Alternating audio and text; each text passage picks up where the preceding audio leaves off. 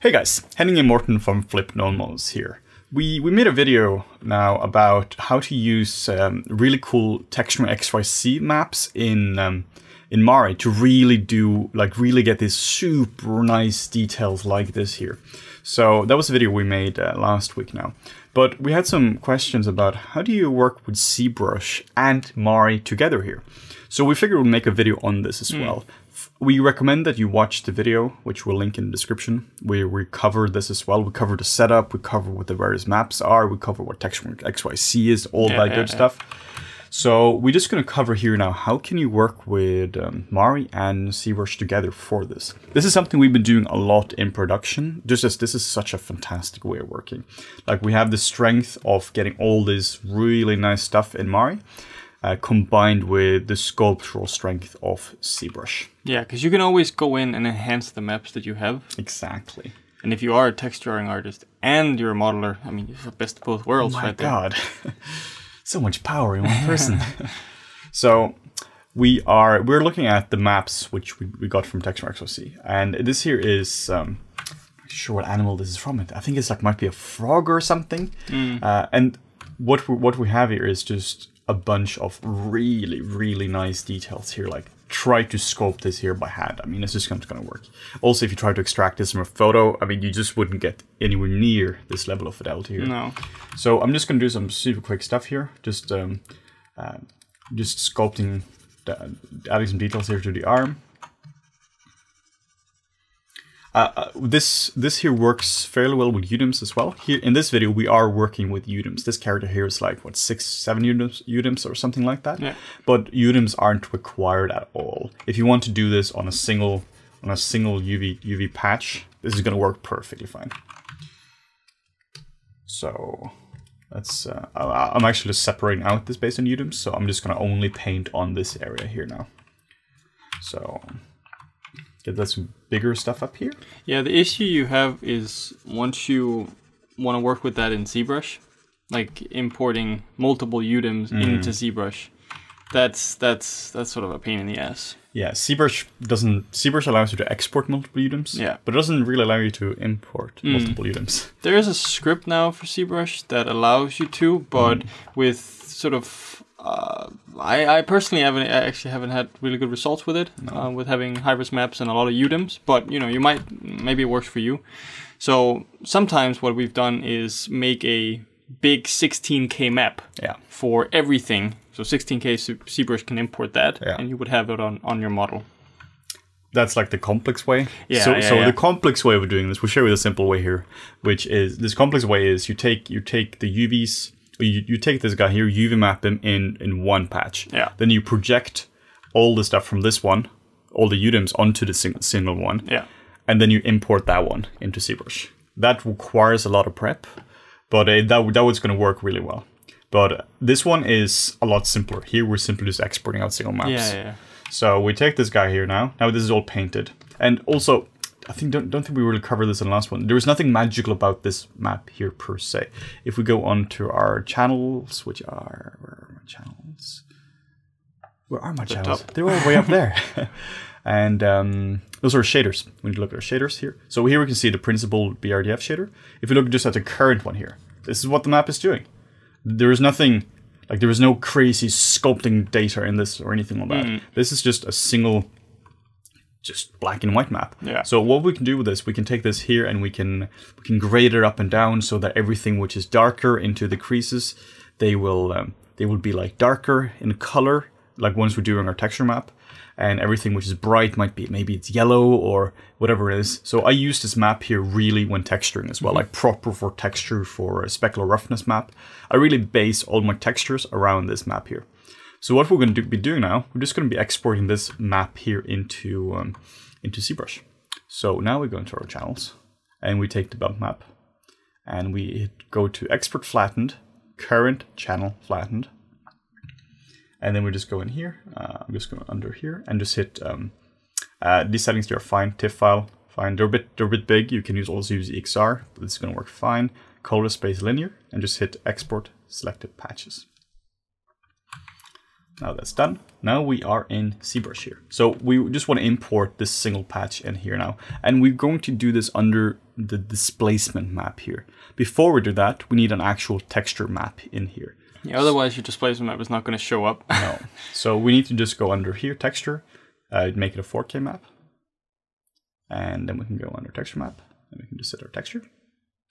And then we can go under displacement map, and uh, we can click on this empty field, hit import, and here we are. So you can see uh, this is a channel bump, and this is UDIM 1004. So we have to set, by default, intensity here will be set to zero. We just did a bit of prep before the video. so this is what it's going to look like currently. So if you set this all the way up to one, it's going to look fairly similar to the way it looks in Mari. So you can also see that it tiles all across here, because we said it doesn't support UDIMs. Yeah, so right now all your UDIMs are basically laid on top of each other in the first Yes. UDIM tile. So it looks kind of cool here, but you can see it stretches here. Mm-hmm. This is not accurate. So whenever you're working like this, be sure to export out each single UDIM. It's a bit it's a bit of a hassle, but honestly, you're probably going to be working so much on this single area Yeah, that yeah. it doesn't really take a whole lot of time. You just export out all your maps, then you just keep replacing this. Either that or make a separate map like we talked about Yeah. before. We have every Giant all your, yeah your giant 16k map where every UD, UV is on on one tile. Yeah. Yeah. So that that's completely up to you. What you can also do here, you can um, you can um, make polygroups based on the UDIM. So if you go under uh, polygroups, and we have UV groups, just uh, go down the subdivision level because we it's going to be a bit heavy otherwise. So now we have polygroups based on this. So now we have selection sets. So now we know we're only going to be working on this region here. Yeah. So um, we can just go to the highest one, highest um, highest subdivision level, and we can make a layer. It's always nice to have a layer. We can work on this. And now we can just start working this up here. I prefer to just use the clay brushes for this. So the reason you really want to work this up here is because there is real not really a whole lot of depth. They all have the same amount of depth. Maybe you want some of these here to be really clear, Yeah. really big. I think uh, an important thing to note here is that uh, currently the displacement map is actually not being applied to your mesh. Mm. This is just it's purely a display thing. All you're working on is the underlying geometry. Yeah. Um, You don't need to apply the displacement map to your to your mesh uh, because when you do that, you actually lose detail as well. Um, This so is a purely display thing right yeah, now. yeah. So one thing I do as a little tip as well is I have map displacement on to a hotkey. So if you can do this, Control Alt, click on it, and you select a hotkey. I use I set this to number one on my keyboard. So now we can just do this. Really, really handy. So now you can see if we, we just sculpt some of this stuff up here, and um, we go to the layer, and um, actually gotta unhide stuff here now.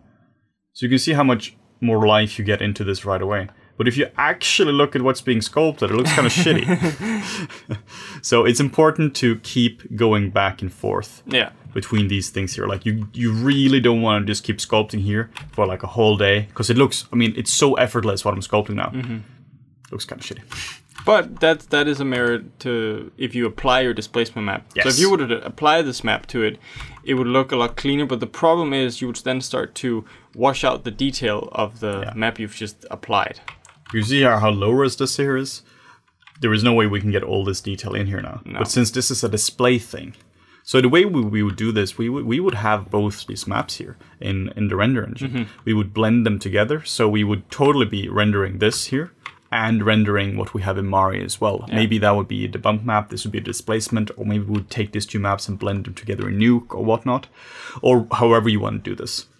So this is a really powerful way of doing it, and this is this is how I've been doing it on a lot of films now, where you you get all the high frequency and all the cool patterns here from um, from Mari, and then you're really just going in here. Yeah. What I would I would really recommend once you have once you've done this, go in, clean this up, you know, make sure everything is nice and nice and tight. Yeah.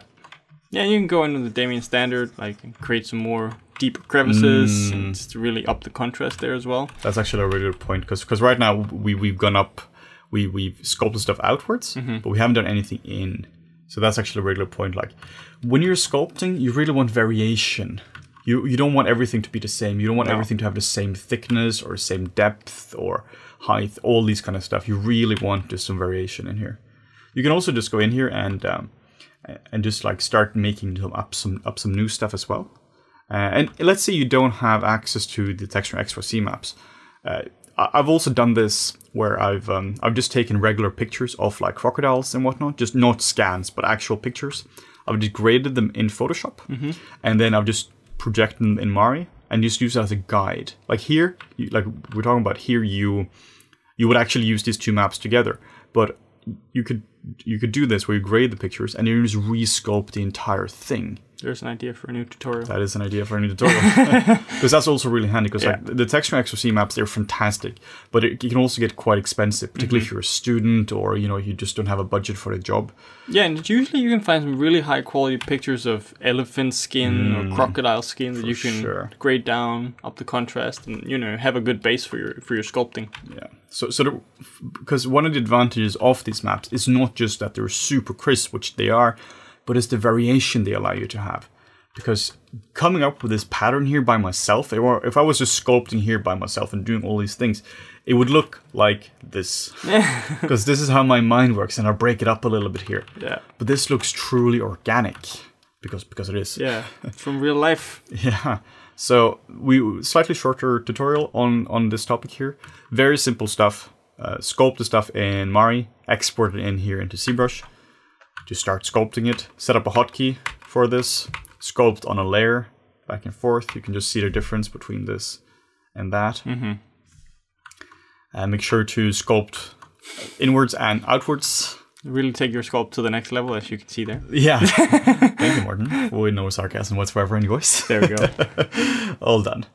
So cool. Yeah, and if you guys want to see more content like this in the future, make sure to like, comment, and subscribe. Thanks for watching.